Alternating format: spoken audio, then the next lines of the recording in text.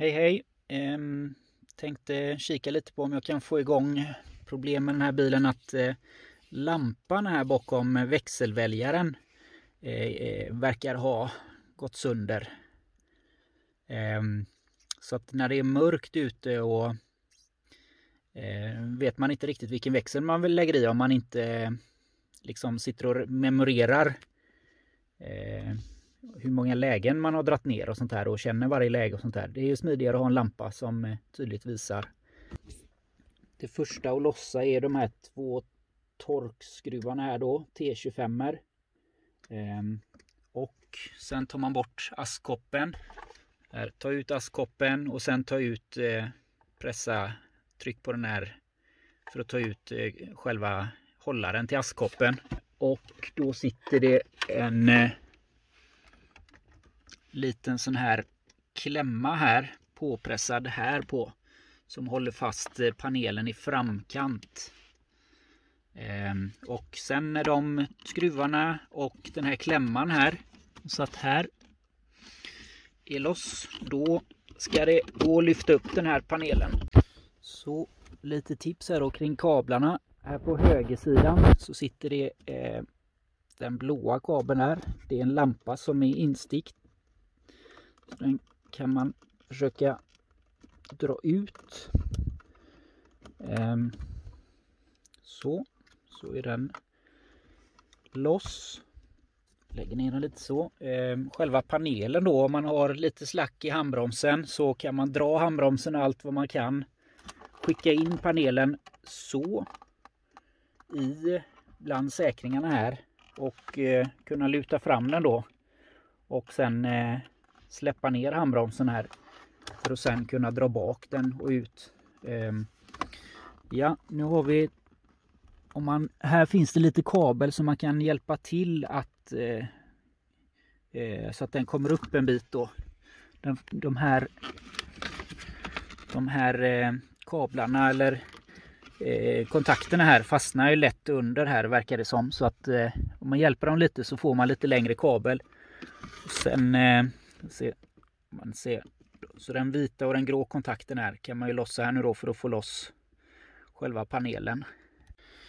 Så, då har vi fått ut den här lampan här då. Eh, jag lyfte lite grann på den här eh, ljudisoleringen som låg här runt växelspaken. Eh, själva lampan här då sitter uppstucken underifrån i växelspaken i den här plast grejen här och den sitter ungefär rakt under neutralläget. Uppstucken rakt upp. Och man ser de här kablarna här gå här på sidan vanligtvis då så man kan ju se ungefär vart den är. Så det gäller att ha små fingrar ner där. Trycka den rakt neråt tills den kommer ut och sen pilla lite på kabeln tills den kommer ut så här. Så kan man ju fiska upp den. Det svåra blir väl att få tillbaks den sen igen då. Men nu är ju eh, lampan ute i alla fall så kan vi kolla på den. Så jag passar på att kolla även på den här lampan då och den lyser inte heller när man slår på tändningen men den har också 12 volt fram så att det är dags för även den att bytas. Så här har jag nu då bytt dels den här lampan T5 eh, Socken heter det här tydligen. Eh, hittade på Jula en sån här SMD-diod istället som blir super bright och den här eh, lampan då är ju en eh, T2 tror jag det hette, Tubular 2. Eh, den är 5 millimeter. Eh, och det finns ju inga sådana. Och det är med wire, wire eh, eh, här då. Och det finns ju inga sådana glödlampor längre utan det är ju leddar alltihopa nu. Så jag har köpt en 12 volts led med inbyggd resistor på Kjell Company. Och eh, Eh, helt enkelt eh, ryckt loss de här benen som satt på glödtråden för de är punktsvetsade här då. Och sen trätt i den här ledden med ben då. Det här är en vanlig led, den lyser inte så starkt men jag slår på här så får vi se. Så. SMD syns ju väldigt tydligt så växelspaksläget kommer ju, om den får plats här nu, är väl frågan. Den är ju lite bredare här uppe på huvudet så jag får se om jag får in den. Ehm, men den lyser väldigt starkt och eh, se, den här andra ledden går ju knappt att se hur den lyser i jämförelse. Så att, eh, ja, men det blir lite ljus där i alla fall och det blev rött för det var det enda 12 volts ledden jag fick tag på. Så eh, vit och blå ska det väl vara original egentligen här då. Ett litet tips här då för att få ut den här eh, eh, glödlampan som sitter där utan att göra sönder glaset och sånt då så är det att ta här från baksidan och sticka in något spetsigt och hjälpa till att trycka samtidigt som man ruckar lite på den. Ehm, jag tog ehm, spetsen på min multimeter helt enkelt, eh, proben där och tryckte in underifrån. Då poppar den ut väldigt lätt. Men eh, när jag bara drog i glödlampan så ville den inte släppa. Så Sen var det bara att trycka i en ny. Sitter den som berget också. Liten recap här. Eh, Ledden sitter i. Det lyser lite om bokstäverna här. Stänga av. Man slipper höra blinket. Eh, jag har lossat lite grann här för det var så jädra trångt och pilligt att komma åt. Så jag har tagit de här två skruvarna här bak på växelspaken. Och två stycken framför. Och sen så har jag tagit en eh, Torx 25 som satt här innanför då, en skruv. Så kan du fälla upp den här. I och med det så kan jag lyfta en del på växelspaken så här. Få upp den. Och jobba lite där från sidan. Jag fick också fila lite på kretskortet på min SMD-LED för att den skulle gå in då. Det var precis så att den inte fick plats. Så jag filade av lite av eh, av kretskortet här på sidan på den. Man ser den är utmonterad här med benen på ett kretskort.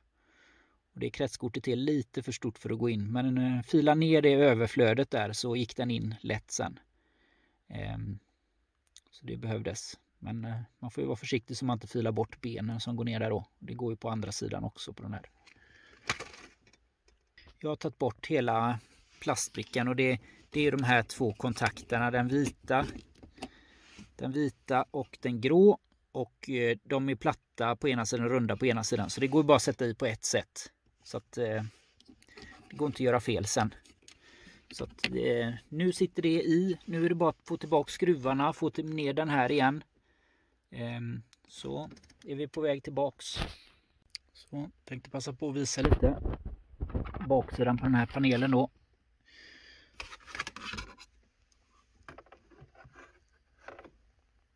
Så. Ehm, den här metallgrejen här då är ju där den här ledden sitter som ska vara blå original. Ehm, så den går in i knapparna här och det är ju tydligen så att eh, där det symbolerna är ska det lysa blått då. Ehm, och så lyser det ju i själva knappen då när man slår på den så är det ju en liten röd LED där då. Så att de ska vara blåa som någon slags guideljus eh, då. Så, slutgiltiga resultatet här då. Slår vi på tändningen. Det lyser här. Bra.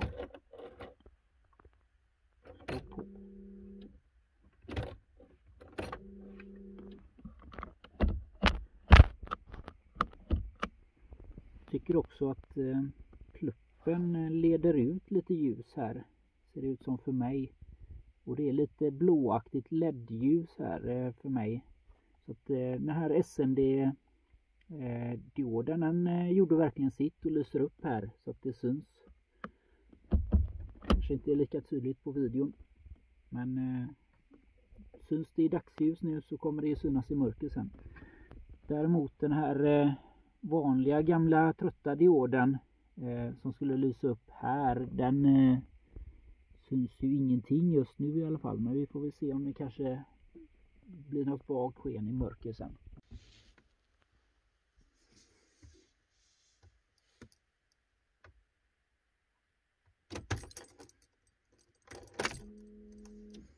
Slutresultatet.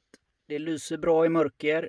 Eh, var lite rädd för att det skulle vara nästan för starkt i mörker då. Men jag har vant mig och tycker att det blev eh, väldigt bra faktiskt. Så Eh, man kan inte klaga på att det syns för eh, dåligt i alla fall. Så att, eh, och jag tycker inte det är alldeles för starkt heller.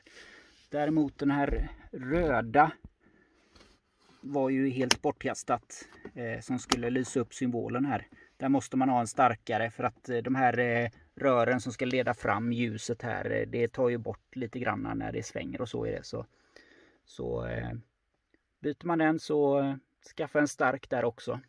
På, på något då som har eh, sån här eh, 5 mm LED här med 12 volts med motstånd. Av något slag. Det var slut för denna videon.